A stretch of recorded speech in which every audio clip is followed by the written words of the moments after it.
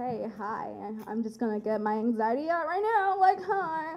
Uh, great, great. People are laughing, so I'm comfortable now. uh, hi, I'm Insama Hutonji, and I'm a junior at Mercy High School.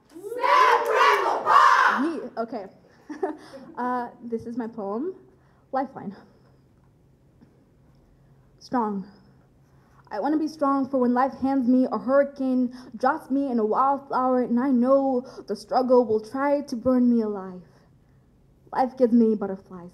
Not the type of swoon till I drop on the floor type butterflies, more like my mother told me to clean my room before she left for work, and now I have five seconds before she opens the front door, and it only got worse. So maybe it's not butterflies. I don't know if there's a word for consistently getting kicked, beaten, bruised, but still getting up to see if you can get just one swing in.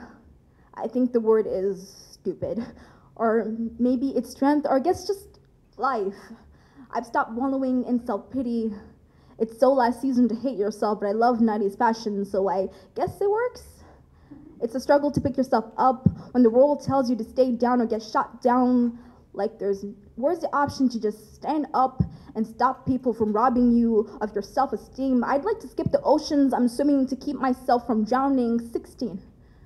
I'm 16, 17 this month, and I made it through life with only a couple of bruises and a lot of emotionally scarring moments, but I'm alive and smart.